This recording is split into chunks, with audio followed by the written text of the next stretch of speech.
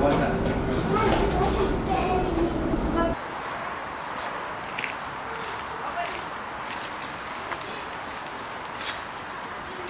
Do you think they're quite bitey? I think it'd be a fidget. I think it would attach itself to your finger. Yeah.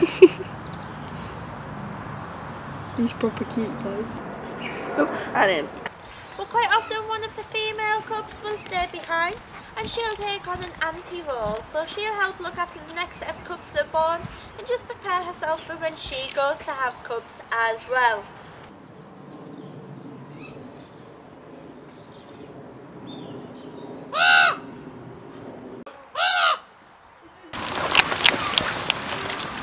You sleep up. more of a twin twin than a twin twin. And you may also notice as the Luca comes around a bit closer to you, he does have very dark eyes. They appear almost black in colour. And as a rough rule, this will indicate when an owl is most active. So if an owl does have sadly we find casualties of barn owls on the side of our roads as well.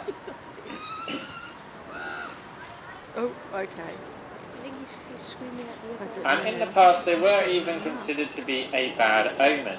And this is due to the fact they were often found in graveyards. We'll do one more flight with Kevin. He's done very well for us. Done a little bit of freestyling on his way around. That's really scary. Well done, Kevin. So make way with the bar now. We'll bring down. So they need to stay near the ground, stay safe, hiding away. Yeah, just shiver. It's just looking at you like those. They almost look like cats. Yeah.